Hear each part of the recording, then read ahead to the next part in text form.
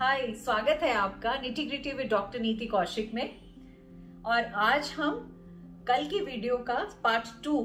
करेंगे, जिसके लिए हमने कल बात की थी और कल हमने बात की थी कलर्स की। तो जिन लोगों ने पार्ट वन नहीं देखा, उनके लिए मैं दोबारा से बताना चाहूँगी, कल हमने एक बात की थी रीकैप कर देती हूँ जल्दी से। कल हमने बात की थी पार्ट वन में कलर्स कि जब whenever we open a wardrobe and we we check and see there will be couple of colours which will be maximum in numbers and there will be certain colours जो सबसे कम होंगे numbers में।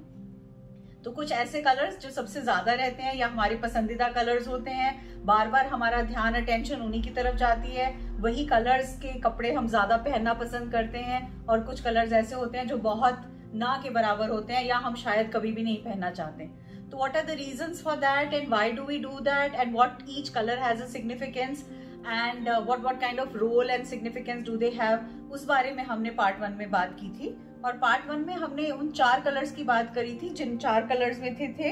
red blue green and grey इन चार colours के बारे में ये डिस्कस किया था कि इन कलर्स के पहनने से हमारी पर्सनालिटी में, हमारे बिहेवियर में, हमारे नेचर में, हमारे एटीट्यूड एंड एप्टीट्यूड में क्या चेंजेस आते हैं। और दूसरी बात हमने ये करी थी कि जब हम उनको बहुत ज़्यादा पहनने लगते हैं या हम हमेशा एक जैसे ही कलर्स पहनने लगते हैं तो उन कलर्स के नेगेटिव इम्पैक्ट्स क्या होते हैं हमारी पर्सनालिटी में, हमारी लाइफ में? So we we had discussion about this now coming to the remaining four colours which I thought I take up in this session so जिनको, जिन्होंने पार्ट वन नहीं देखा I attach the link in this so that under the video so that at least you can you know go through that link and just check what all we are speaking about. तो आज हम बात करेंगे चार अलग colours की। अब ये चार कौन से कलर्स हैं? थैंकफुली uh, ये वो कलर्स हैं जो मेरे कबर्ड में काफ़ी हद तक हैं। तो सबसे पहले मैं बात करने लगी हूँ आपसे कलर की yellow I think yellow colour हम देखते हैं कि हर त्योहार में हर फेस्टिव मूड्स में और हर फेस्टिविटी में एक येलो कलर को बहुत सिग्निफिकेंस दिया जाता है। हमारे राजस्थान में तो जो पीले की ओढ़नी पहनाई जाती है शादी के वक्त या बच्चा होने पे या हवन पे तो वो भी एक पीलिया कहलाता है that's also yellow so it has significance with Lord Vishnu because पीला रंग लॉर्ड विष्णु का है। और बहुत सारे घरों में अक्सर देखा है कि थर्सडे को पीले चावल बनेंगे या चने की दाल बनेगी या फिर uh, it, it would be something yellow which they eat and they wear yellow and they they try and eat besan या इस तरह की सब्ज़ी या कड़ी इस तरह की चीज़ें बनती हैं so yellow has a lot of positive role and influence and significance one foremost आप जब भी देखोगे किसी ने येलो कलर पहना है तो it it adds to a lot of brightness सबसे ज़्यादा अच्छा लगता है because it it peps up the brightness of a person second important thing it's it's like sun sun का कलर येलो है so it's a source of energy तो आप yellow जिसको पहने हुए देखोगे तो आपको लगेगा उसकी वो that person will be feeling very energetic and वो एक एनर्जी रेडियंस आएगी उसके अंदर. Yellow adds to creativity because Vishnu भगवान का कलर है and that is a colour of creativity it's also a colour of cheerfulness अब और बहुत अच्छी सी बात यह है कि येलो कलर हर एक रंग को फपता है। लाइक like कोई गेहुआ है या फेयर है या कोई भी कलर है वो it will it will glow it will add on to the glow to that person it also adds on to the joy and happiness and of course intellect का तो कलर है ही है। विष्णु भगवान का कलर है तो इंटेलेक्ट का colour तो ऑब्वियसली होगा ही होगा। Uh, अब हम बात करते हैं कि अगर कोई इंसान बहुत ज़्यादा येलो पहनता है बहुत ज़्यादा means all the seven days in a week somebody is wearing yellow और very frequently wearing yellow for more than three to four times in a week then it has a little negative impact also. Yellow color makes a person a little irresponsible अगर too much yellow है तो and also. Um, थोड़ी सी ये इंसान को coward भी बनाता है uh, डरपोक भी बनाता है। सो so, uh, इसलिए एक एक लिमिट तक फेस्टिविटी में थर्सडेज uh, को सो so मैंने uh, जो कर रखा है I try and wear yellow on Thursdays at least because my Jupiter is also strong so I I feel that somehow there a connect so I try my level best की at least एक दिन तो week में या दो दिन मैं yellow ज़रूर पहनू। Now we move to the colour which is black आप कहोगे हाँ ब्लैक तो like okay. I think half the world wears black. Half the time so काले रंग से मेरा कुछ खास लगाव नहीं रहा कभी भी, लेकिन जब समझ में आया कि पहनना क्यों ज़रूरी है तो मैंने कुछ ड्रेसेस लानी शुरू की और मैंने ब्लैक को भी ऐड किया अपने कवर्ड में, अपनी वार्ड्रोब में ब्लैक कलर के जो पॉजिटिव्स पॉजिटिव्स हैं, वो हैं that it acts it's a very protective colour it adds to the protection it is a very classy color it's a very formal color also it gives a lot of feeling of power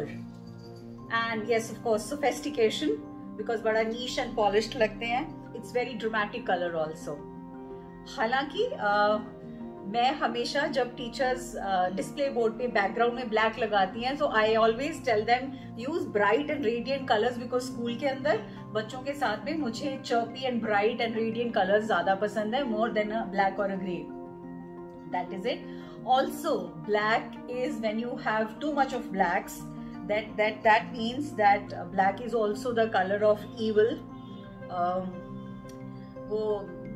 movies में दिखाते ना जादू टोने करने वाले और वो काले काले बाबा जी और वो तांत्रिक वांत्रिक तो वो काले काले से कपड़ों में बड़ा जिनको देख के डर लगता है। तो that that's black that's why too much of a black adds to the the evil it's colour of mystery and it's also colour of death so that's हाँ हिंदुओं में वाइट uh, पे मानते हैं लेकिन I think world over black is consider to be the colour for that अब हमने क्यों व्हाइट की बात करी? तो चलो let me now take you from black to white colour and white बोलते ही um, सबसे पहले जो जहन में आता है वो हंसों का जोड़ा नज़र आता है मुझे। और uh, मुझे बहुत पीसफुल लगता है। And actually white signifies purity it signifies freshness जैसे हम कहते हैं येलो सब पे फबता है। सिमिलरली वाइट कलर भी सब पे फबता है। And it's also colour of cleanliness इसीलिए शायद most of the walls are white washed and we we say white washed और वाइट ही होती हैं. और वाइट से स्पेशियस uh, लुक आता है. And white is also the colour for innocence and of goodness and hope and light and simplicity white एक ठंडा कलर है. तो जब हम बहुत ज़्यादा वाइट पहनते हैं तो हमारी एनर्जीज थोड़ी सी सबड्यूड हो जाती हैं, थोड़ी सी पैसिव हो जाती हैं और थोड़ी सी रिलैक्स्ड हो जाती हैं। So too much of a white also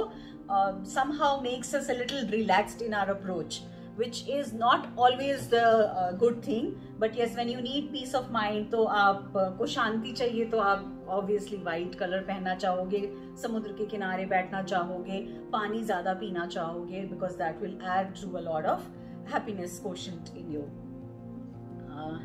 now the fourth colour which I take it as the last colour all the colours की तो there is there are endless भगवान की सृष्टि. हाँ before I take the fourth colour एक चीज़ और. आपने देखा है इंद्रधनुष में सात रंग होते हैं. और हम छोटे थे तो मुझे याद है, हम स्कूल में एक्सपेरिमेंट करा करते थे कि हम एक फिरकी बना के उसमें सात कलर्स लगा के and then we use to rotate it and when we use to rotate it तो वो आईज को क्या होता है, वो सात के सात कलर्स इकट्ठे हो जाते हैं और वो हमें व्हाइट का इम्पैक्ट देते हैं। So white covers all the seven colours so वो सारे के सारे उस व्हाइट के अंदर आ जाते हैं। So it also encompasses everything into it So now we move to the uh, the fourth and the last one in this uh, series, which is pink. Uh,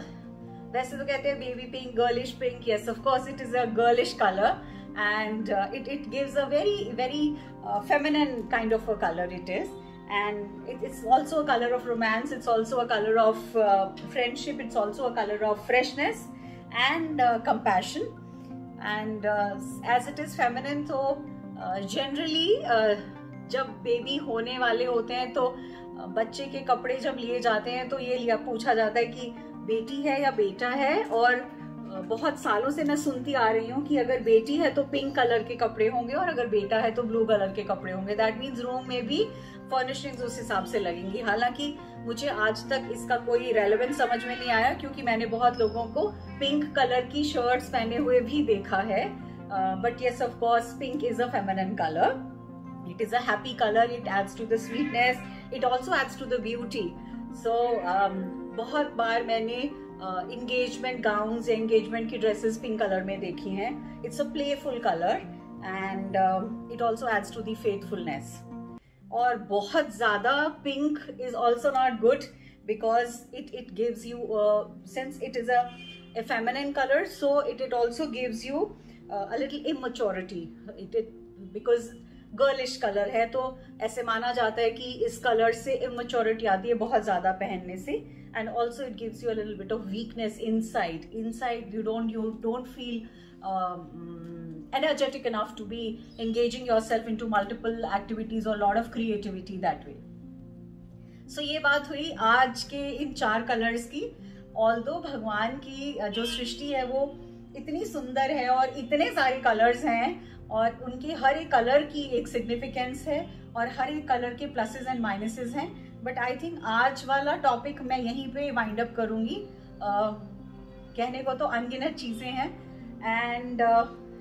बहुत टाइम से मेरे मन में क्यूरोसिटी थी कि मैं आपसे uh,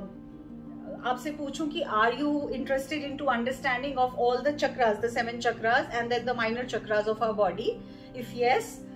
मुझे प्लीज़ कमेंट बॉक्स में लिखिएगा so that I can weave you know our next series on to the chakras और else are you still keen on to a wonderful parent, being a better parent, and trying to make parenting as as a part of your life, which should be easy and cakewalk. Um, वैसे है नहीं but still some tips can always help तो आप please मुझे बताइएगा इन दोनों में से which topic would you want to take up for the further discussion so that I can leave my videos on them so thank you so much God bless you and heartfelt thanks for subscribing and loving and giving me so much of a love and affection. Uh, मेरे लिए ऐसे लगता है मेरी विशेष fulfil हो रही हैं और मेरे को दिल से तहे दिल से uh, शुक्रिया आपका। हर किसी का, और बहुत सा प्यार देने के लिए। Stay blessed stay happy and stay abundant God bless